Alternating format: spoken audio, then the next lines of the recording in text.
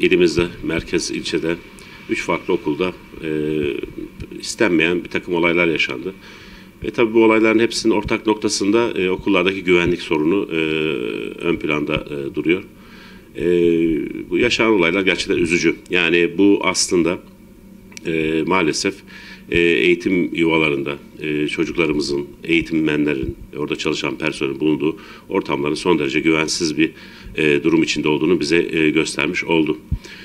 Yaşanan olaylardan bir tanesinde bir velinin çocuğunun yapmış olduğu bir disiplinsizlik sonucu belki üste çıkmak için olsa gerek e, okuldaki idarecilere işte e, hakaret etmesi, sözlü saldırıda bulunması, işte arada araya giren kişilerin engellemesiyle işte belki de şiddetin e, o an için önlenmesi gibi bir durum söz konusu oldu. E, tabii bu e, oldukça üzücü ve e, eğitmenlerimize, öğretmenlerimize, idaremize yapılmış olan bir saldırı girişimi bu. E, bunun haricinde başka bir okulumuzda e, bu ilk dediğimiz olay e, Anadolu Lisesi'nde gerçekleşiyor. Diğeri e, Sarı Saltuk Anadolu Lisesi'nde gerçekleşen olayda ise e, bir e, proje kapsamında bir sergi açılmak isteniyor okulda. E, okul dışındaki e, bir kişi okula gelip e, o sergisini açmak istediğinde o serginin e, maalesef e, farklı amaçlara evrildiğini görüyoruz. E, o sergiyi yapan kişilerden öğrenciler arasında bir takım polemikler yaşanıyor. Bayrak üzerine, Türk bayrağı üzerine e, bir takım polemikler yaşanıyor.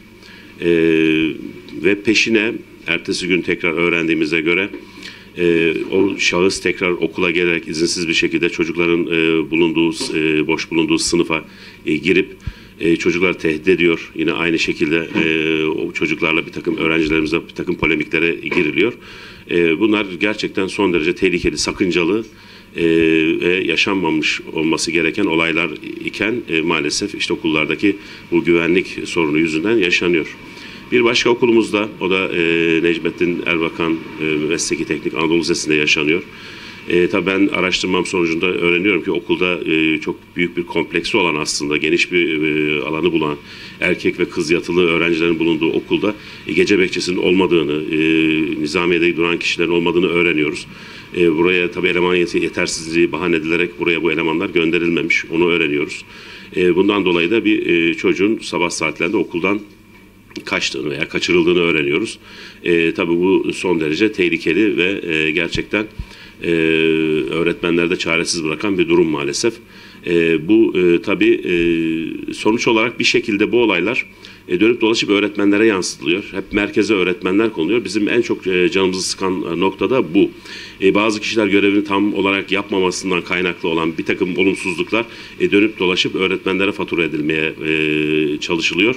E, öğrenci öğretmenler, öğrenciler bu durumda mağdur olmasına rağmen e, bazı insanlar bu okullarda bu şekilde hareketlerde bulunabileceğini, gidip öğretmenler tehdit edebileceklerini, öğrenciler tehdit edebileceklerini kendilerine hak görüyorlar. İşte bizi en çok rahatsız eden e, kısım da bu zihniyet yani. E, bu zihniyetle biz mücadele ediyoruz. Edilmesi için de e, herkese topluma çağrıda bulunuyoruz. Ve bu hususta pazartesi günü de e, Eğitim İş Sendikası ve diğer e, katılımcı sendikalarda davet ettik. Bir basın aşaması yapmayı planlıyoruz e, öğretmene e, olan bu şiddeti durdurun diyoruz. E, çünkü e, gerçekten e, Sinop'ta e, bunlar tabii e, yaşanan olaylar, kulağımıza gelen olaylar ve gelecekte e, yine birçok olayın yaşanma endişesini yaşıyoruz biz e, bu ortamda. Ve bir takım tedbirlerin e, alınmasını ve toplumun da e, okul e, yuvalarına e, biraz daha saygılı davranmasını bekliyoruz e, çözüm bu şekilde şiddet kullanarak, e, zorbalıkla, bu şekilde vandallıkla e, bu işleri çözüme e, götürebileceklerini hiçbir zaman sanmasınlar. E, bunlar tabii e, bir takım idari ve adli makamlarda intikal etmiş olaylar bu arada. E, bunların da tabii takibini biz yapacağız sendika olarak. E, hangi aşamalara geldiğini ama dediğim gibi e, toplumunda e, okullarımıza, e, öğretmenlerimize e, saygılı davranmasını istiyoruz biz. Bu bizim en büyük mücadelemiz ve talebimiz tabii ki.